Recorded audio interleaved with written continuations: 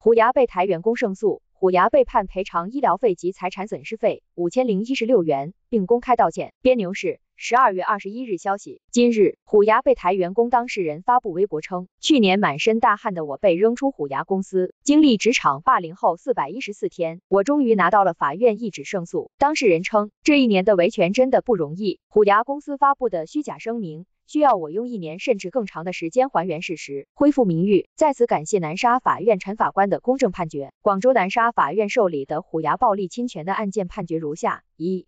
虎牙赔偿医疗费，砸坏我手机的财产损失费。虎牙公司指挥八个大汉将我抬出去的那一刻，怎么会想到这个蝼蚁般的存在小人物，能够让他们付出法院判决公开道歉的代价？道歉是绝对不可能的。赔偿也休想！虎牙 H 二法务在我面前上蹿下跳，虎牙公关在舆论上也对我围追堵截，虎牙的职场霸凌升级到了拳脚相加的暴力。我的遭遇跟一般劳动案件不同，甚至更恶劣。事发之后，更是对外发布了一个满是谣言和诬告的声明，正是使用操纵心理学，试图利用不实指控，让被指控的人用尽所有的力气和时间为自己辩解，转移大众视线，操控舆论对我进一步的霸凌。所以，我与虎牙的诉讼有两个，分别是劳动案件和侵权案件。这也需要我及我的律师花费更大的精力和时间去维权。在此感谢郑律师在我最艰难的那段时间里对我的鼓励和帮助。接下来继续努力在劳动案件中争取到公正的结果。